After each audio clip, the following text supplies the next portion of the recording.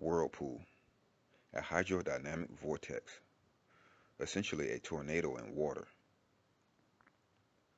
The whirlpool, with its characteristic funnel shape and its ability to suck objects into it like a tornado or a black hole, is one of the most fascinating and enigmatic phenomena in nature. But is the whirlpool much more than just a visual curiosity? Could its definitive circular motion be harnessed for propulsion and even levity? And what does the behavior and properties of the whirlpool tell us about the nature of flowing water and even other fluids such as air? One man who attempted to derive answers to these questions was Victor Schauberger. Like Nikola Tesla and John Worrell Keely, Victor Schauberger was one of those rare individuals who gain a vast insight into the inner workings of nature over his lifetime. Whereas Tesla's medium of operation was high frequency alternating current, and Keely high frequency sound waves, Schauberger's principal medium was water. His understanding of the movement of water arose from long observations of flowing water in rivers and streams in his native Austria.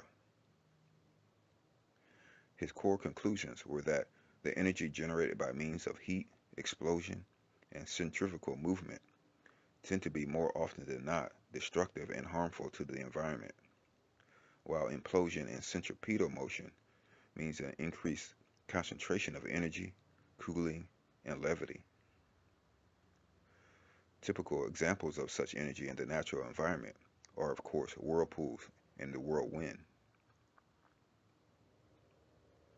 Like the ancients before him, Schauberger's motto was to comprehend and copy nature, devising methods to mimic and work with natural forces rather than methods to tame and overpower them. However, I must add here that the term centrifugal itself is often treated as pejorative by many who refer to Schauberger's theories. But centrifugal motion itself is actually only the flip side of the coin of centripetal and is a vital and necessary part of the process of renewal and regeneration. I will demonstrate this duality of centrifugal and centripetal and how they complement each other later in the video. But Schauberger was amazed at how trout could not only remain motionless in rushing water, but can also swim against the current and even propel itself in the opposite direction of the stream, and even propel itself up a waterfall. These amazing feats are partly due to sucker features on the abdomen and their mouths. And they can jump waterfalls partially by a rapid and powerful undulation of their tails. But Schauberger stated that another important principle that made this possible was the vortex. He explained that vortices form behind objects in the path of flowing water, particularly objects such as oval-shaped rocks and stones.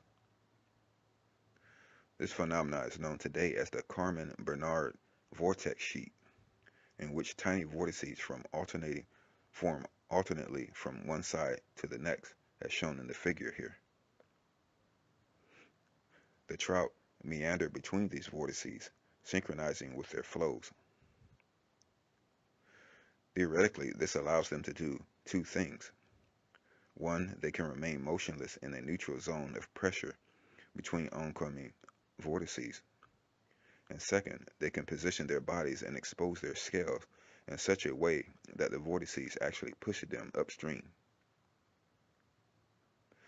As we see in the diagram, these tiny vortices circulate in the direction of upstream from the vantage point between the vortices. A trout's scales are smooth and frictionless in one direction from the head to the tail, but are rough in the reverse direction from tail fin to head. As seen in the next figure, the trout can move its body so as to expose the rough side of its scales to the incoming vortex, vortex updraft or upflow, which then helps to propel itself upstream.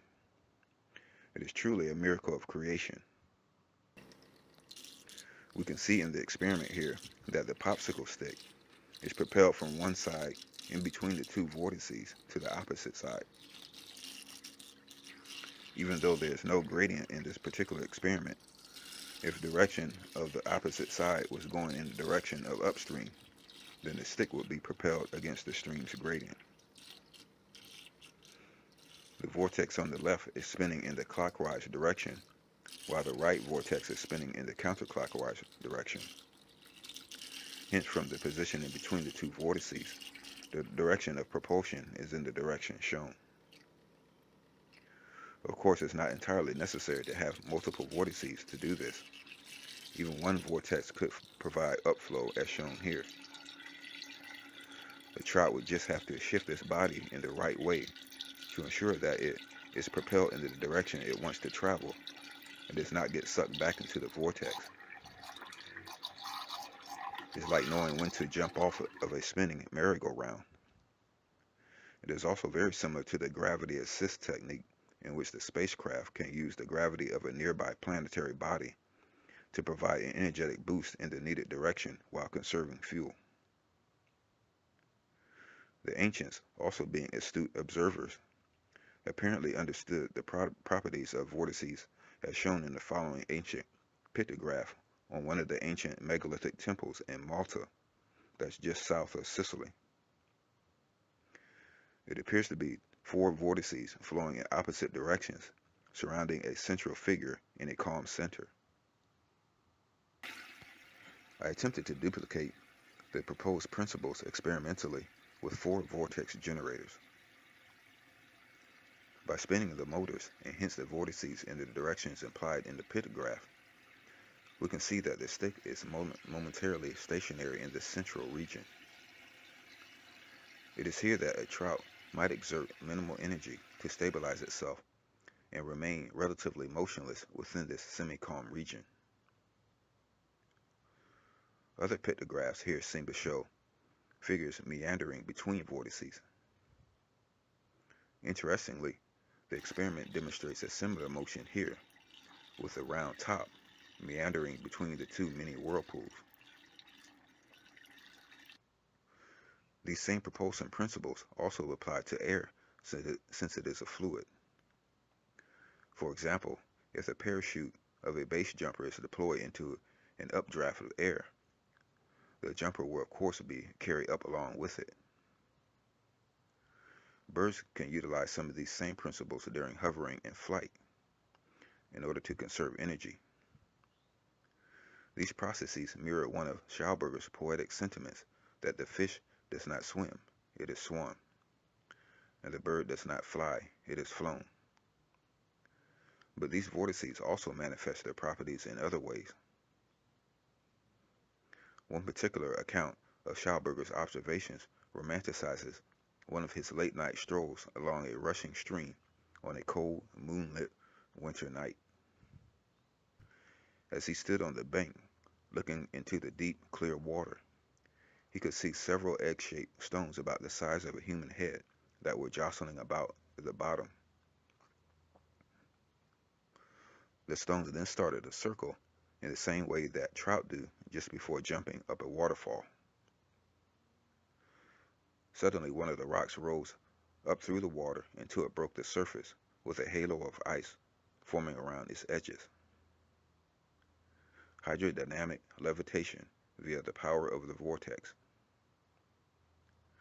From these and many other observations, Schauberger surmised that the normal movements of natural forces follow a spiraling vortexual pattern, which is reflected in the physical patterns of snail shells, whirlpools, galaxies, seashells, and countless other formations, as if reflecting some universal background motion underpinning all of reality.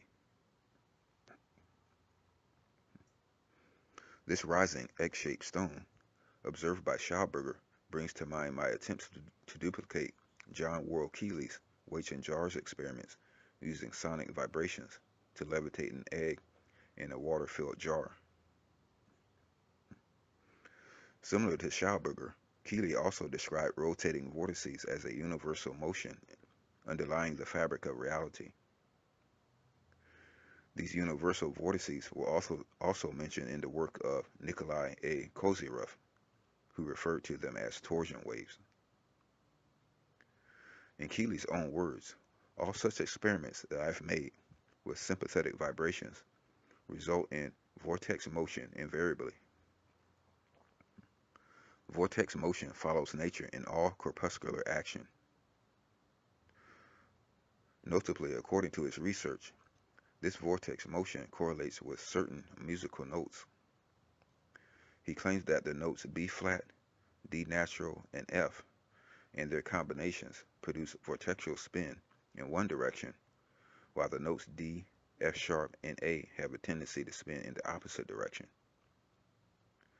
Even mainstream science has proven that alternating vortices, such as those in the aforementioned vortex sheet, can generate sonic vibrations and even resonance under the right conditions within the objects that they encounter in the air or the water. In my, in my egg and jar experiment, the sonic vibrations create vortices in the water creating a region of low pressure between the vibrator and the egg, which results in the latter's levitation. So what this means is that the sonic vibrations create vortices and vice versa. They are intrinsically connected, and both can generate levitation and lift. Mainstream science also acknowledges the ability of these vortices to generate lift and thrust and the principle of leading edge vortices winged insects, wing, and winged uh, vehicles both make use of these vortices to enhance lift and conserve energy during flight. Looking into the vortex itself, its primary characteristic is its inward centripetal motion, as is readily seen in whirlpools. This type of energy is associated with a cooling and densifying effect on the water and the air, hence significantly increasing its carrying power. A true champion of nature, it was only a matter of time before Schauberger began to apply these principles of levity and cooling to industry. During his stint as a forester after World War I, the logging industry was experiencing great financial difficulty due to the high cost of transporting large amounts of wood from deep forests. Schauberger's in insight into centripetal motion inspired him to construct log flumes with vanes. These vanes were a vital feature which would make the water in the flumes to flow in a twisting motion just as it does in rivers and streams. This enabled the flumes to carry significantly heavier loads with less water, resulting in a nearly 92% reduction in operation costs. This would be equivalent to reducing friction with a technique like acoustic lubrication.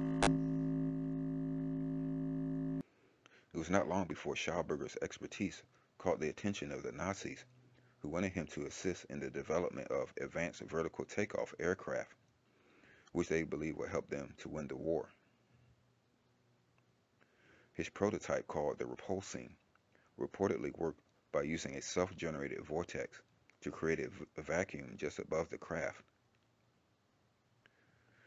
Now we can note that this is in opposition to the hovercraft, which traps and pressurizes the air beneath it in order to achieve lift. So rather than being pushed from the ground, as well as in the direction of travel, the Repulsine would instead be sucked into regions of low pressure just above the craft, as well as in the direction of travel. Now, this, in addition to implosion, Schauberger also submitted that an additional force is known to contribute to the craft's levitation. This force arose from diamag diamagnetic field, which he claimed was caused by electric uh, charge separation in the fluid via air or water. He called this force biomagnetism.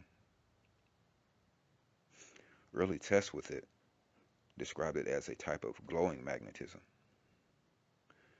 According to the document here, this diamagnetism as a property of fresh water flows all over the Earth's surface and radiates any surplus energy vertically and can thus carry along anything caught in its wake, such as trout in a river.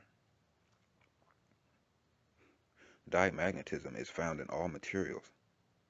However, because it is so weak, it can usually only be observed in materials that do not exhibit other forms of magnetism, like paramagnetism and ferromagnetism. Common diamagnetic materials include bismuth, pyrolytic, carbon, copper, air, and water. The article goes on to say that adding diamagnetic catalyst to a fluid or creating the structural parts of a device from diamagnetic materials as opposed to paramagnetic or ferromagnetic materials will produce an upward flowing diamagnetism, a formative and levitative force that soars upwards, sucking the generation device up in its wake. This force is apparently dependent on the rate of rotation of the fluid. But is this the same type of diamagnetism as defined by modern science? Mainstream science defines diamagnetism as a quantum effect in which an external magnetic field induces a secondary magnetic field which repels the former. Diamagnetic materials expel this external field because its dipoles line up in opposition to it. But Schauberger's diamagnetism is not just a barely perceptible static force which repels magnetism, but it is instead a powerful dynamic entity which undulates, meanders, and even floats upwards in defiance of gravity, almost as if it were a living thing in itself. And as such, biomagnetism seems all the more fitting a name as it encompasses not only diamagnetism as we know it, but also encompasses electric charge and bioelectricity. But what do these bioenergetic forces react against in order to produce levity? The strongest diamagnets, of course, are superconductors. However, superconductors as well as natural diamagnets, like air and water or bismuth, need an external field to react against and, and expel to produce levity. Do these Earth, do the Earth's magnetic and electric fields serve in this capacity? We know that the intensity of the geomagnetic field is relatively weak but still has enormous energy due to its vast size and reach. Could we theorize that the diamagnetic properties of water would generate a considerable force of levity when flowing over large enough areas?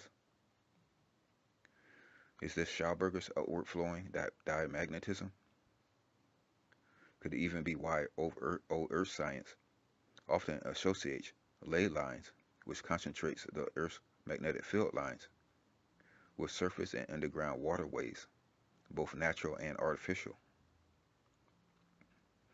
We can see here how this small container of water is weakly repelled by a strong magnet. And in the next demonstration, we see a high voltage charge exerting an attractive force on a stream of water. Now we are already familiar with this, but what we can see is that the small sand particles that I'm dropping in it become dissolved and are also pulled along with the water. Now, if we can extrapolate this small stream of water to a large stream or river, then we can imagine how the Earth's energetic fields might be able to provide levity to a to the water as well as any materials within it, such as rocks, stones, animals, and trout. So in addition to the gravitational influences of the moon and the planetary bodies, we can see that electricity and magnetism might also exert a significant influence on the movement and behavior of water, as well as anything contained therein. The water is a conduit. We understand these forces as magnetohydrodynamics and electrohydrodynamics. And if these forces are in fact dependent on the flow and rotational rates of the fluids, then we might expect that the forces of levity to be even stronger within rotating vortices. This relationship essentially describes the principle of the magnetohydrodynamic power generator, a device which generates electric power by means of the interaction between a moving fluid and a magnetic field. Though magnetohydrodynamic power generation typically uses plasma or ionized gas as the moving fluid, the same principle would apply to an aqueous solution, particularly salt water.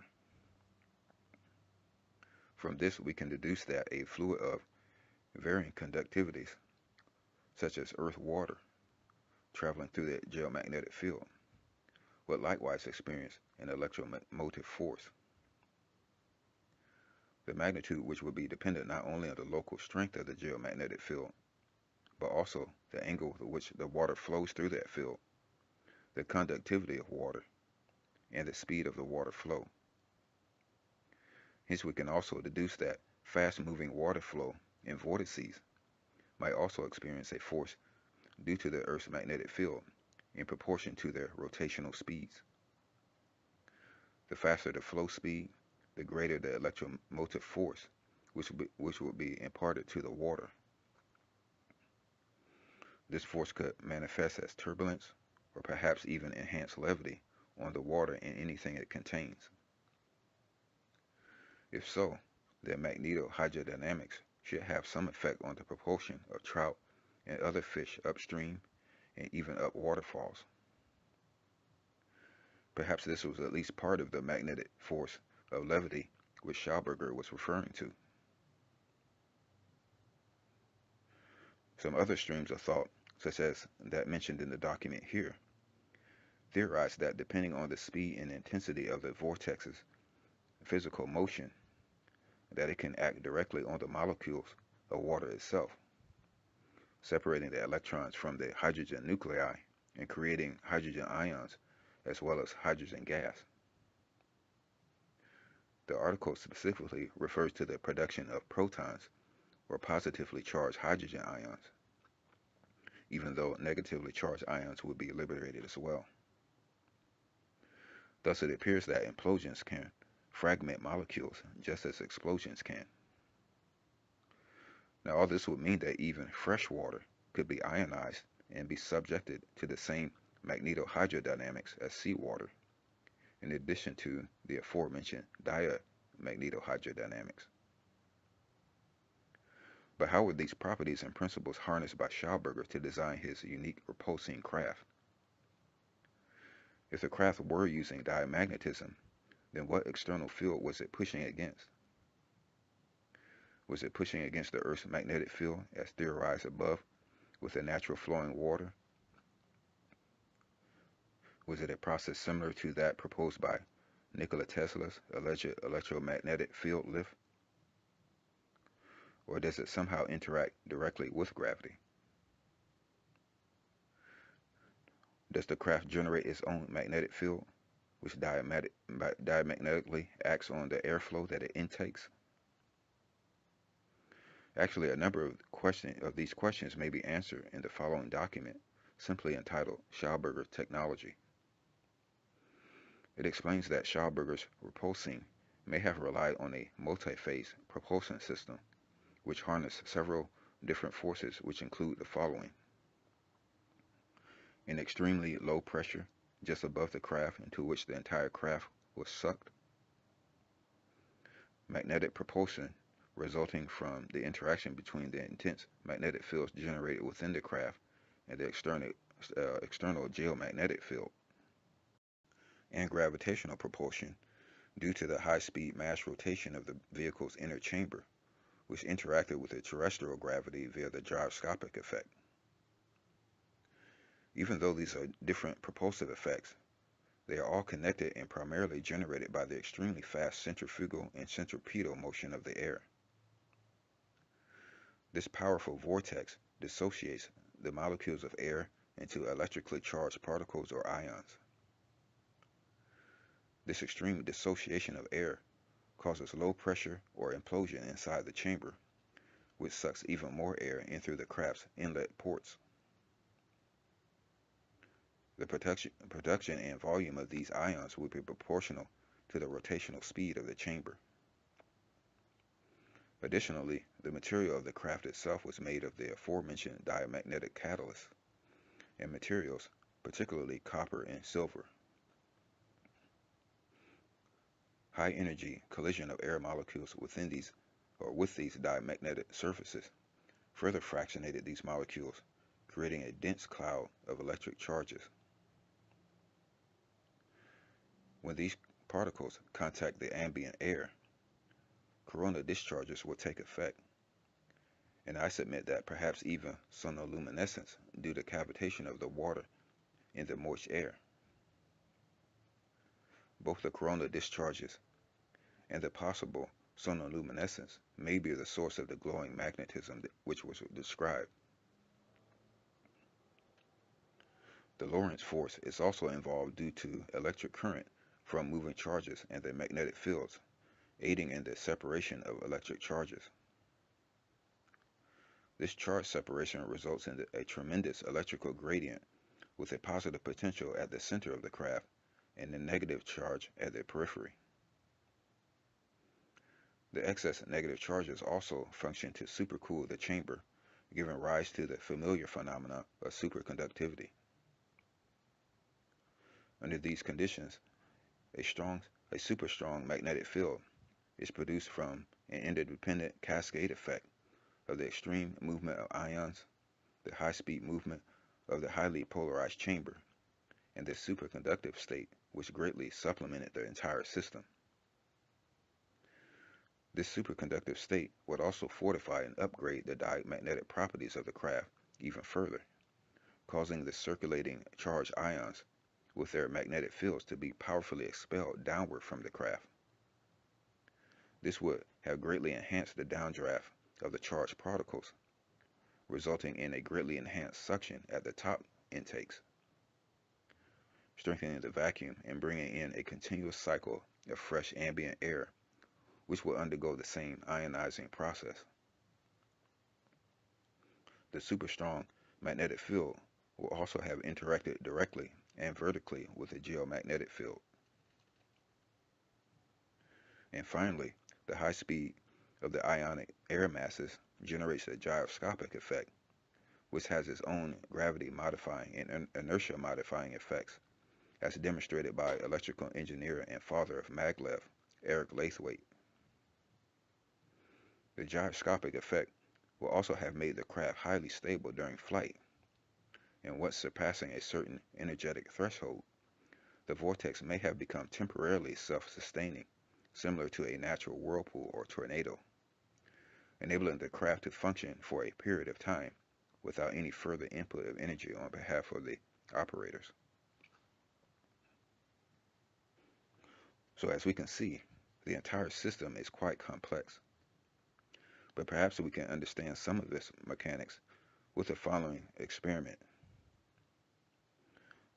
By, by spinning this entire cylindrical container of water at a very high speed, we can see how the water is flung and pinned to the inner surface of the container by a powerful centrifugal force. Upon slowing, this centrifugal force is converted into an equally powerful centripetal force, producing a massive whirlpool. This happens because of the natural push-pull balances which exist in nature. During spinning, there is a tremendous downdraft, or in the case of water, a tremendous downflow towards the bottom of the container as the whirlpool funnel begins to take shape.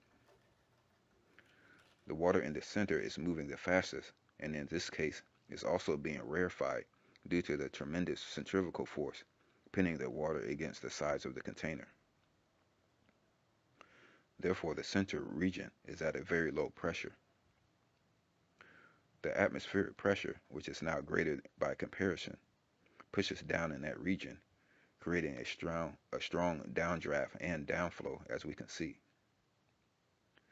When the water begins to slow down, the pressure is reestablished and gradually begins to equal the atmospheric pressure once again, creating an equally strong updraft and upflow in the process.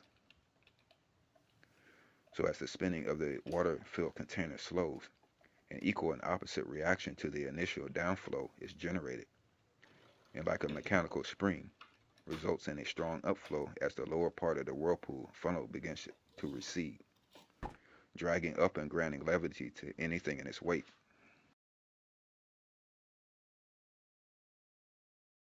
But in the experiment here, we can see that the golf ball levitates by a slightly different process, as it is caught up in the centrifugal motion and revolves in the region just around the outer edge of the center of the forming vortex. This is the region in which the downdraft of atmospheric air is generated. Hence the equal and opposite reaction. A downdraft produces an accompanying updraft and vice versa. In effect, it is a similar type of hydrodynamic levitation effect to the weights and jars experiment.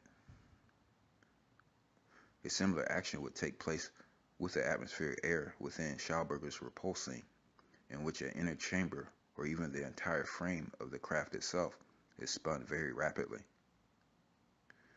In this process, the air molecules are being flung violently against the sides of the craft's inner vortex chamber, dissociating the air molecules. In addition to creating a region of lower pressure in the center and above the craft, these molecules collide with each other as well, as, as well as with the metals of the inner chamber, forming ions. These molecules and ions then produce even more ions due to the rubbing friction between them and the high-speed inner chamber, a process known as triboelectricity, or the electricity induced by friction. Like the whirlpool machine, the, down, the downdraft produced in Schauberger's engine would generate an equal and opposite updraft. The craft would then be caught up in this powerful updraft due to the Coanda effect, an aerodynamic principle in which the dynamic airflow essentially sticks to a curved surface. So as the air is drawn up into the updraft, the Coanda effect allows the craft to be sucked up in as well due to the fast speed of the air and the resulting low pressure, resulting in an aero levitation. We can see here that the Coanda effect applies to water as well, as the stream of water follows the curved surface of the spoon. The vortex dynamics and diamagnetism, along with the geomagnetic interaction and gyros or gyroscopic reaction, will combine to create a truly revolutionary form of lift and propulsion. In summary, the vortex, like acoustic lubrication, is basically another manifestation of rhythmic mechanical energy with both a negative phase, which is the downdraft or downflow, and a positive phase, which is the updraft or upflow. We've also seen that it takes a span of time for the fluid to be entrained into the characteristic shape of a, a vortex just as it takes a span of time for resonance to maximize vibration in a large cavity. This time, this time span is dependent on the amount of fluid or mass being entrained or resonated, as well as the amount and frequency of input energy. And as the next experiment here demonstrates, because there is a time constant for the vortex creation, it is not necessary that the input energy be continuous. We can also run it intermittently with a start-stop method, adding energy to the vortex in a pulse-like fashion. And as with acoustics, it will have both a specific switching frequency as well as an ideal duty cycle range. Thus the powerful the power of the vortex as mechanical energy, rhythmic mechanical energy, can be utilized to overcome both friction and gravity and can even be harnessed to provide propulsion.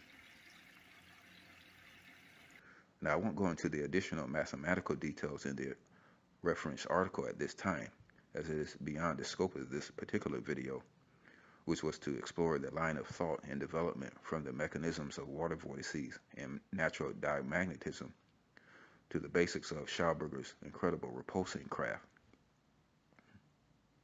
But the article is very well thought out and detailed, I may make an additional video in the future using it as a reference if there is any interest. But the link to the article will be placed in the video's description along with a link to my video, The Electromagnetic Hovercraft, in which I give a demonstration on how powerful magnetic fields can indeed interact with the vertical component of the geomagnetic field to generate a vertical force. Obviously, the repulsine concept is long overdue for re-examination. The brilliant Schauberger, known as the water wizard, and even in some cases as the father of the UFO due to the repulsine's disc shape, was eventually recruited to work for the U.S. But tragically, like so many before him and since, he was conned by people who did not even remotely have his best interests at heart, and he ended up signing away all of his research, as well as any and all of the future developments of implosion technology, over to the military-industrial complex. Shortly thereafter, uh, he returned to Austria, where he died less than a week later. Like John Keely and Nikola Tesla, Victor Schauberger left behind an incredible legacy, some of which also, like Keely and Tesla, is shrouded in mystery and often unfortunately associated with pseudoscience and fringe. His, his insights might also make us wonder what knowledge our ancient ancestors may have accumulated over thousands of years of observation and experimentation, which we have yet to rediscover.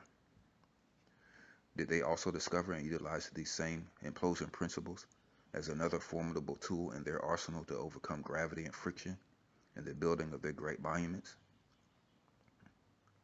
Much knowledge from ancient times has been passed on to the present day but there's often, often a nagging suspicion that there is much more which may not have survived into the present day in full form, but perhaps is encoded in the myths and legends preserved by past cultures. Do these myths parallel the oral traditions of olden times when knowledge and information was passed on by storytelling and song rather than writing? There is a fascinating excerpt from author Shirley Andrews' book, Lemuria and Atlantis, Studying the Past to Survive the Future. It describes powerful stones from the center of the earth. And when one of these stones was placed near water, the water was repelled by it. Attaching the stone to the bottom of a boat, the water moved away from it, moving the boat forward. Though this story is a myth, and nevertheless sounds very much like the aforementioned diamagnetism in its repulsion of water, as well as magnetohydrodynamics in its propulsion through water, both principles arising from the applications of powerful magnetic fields on water. Were these stones and other similar stories nothing but pure fantasy composed in the imaginations of our ancient ancestors? Or are they embellished memories of real events from times past? Though the stones themselves may not be real, the actual principles that they represent are very real in what we know of diamagnetism and the magnetohydrodynamic effect, which makes this story and those like it all the more intriguing. What if these stories are vague insights into the distant past, distortions of actual course, uh, cultural events, and long lost scientific principles? Do the myths point to something real? Is truth stranger than fiction? What about people like Schauberger, Keely, and Tesla? Are they not only inventors, but also retrievers of aspects of that cultural memory? It is often said that there is really nothing new under the sun. Perhaps we can also say nothing new under the water. Thanks for watching. There's much more to come. And as always, stay tuned.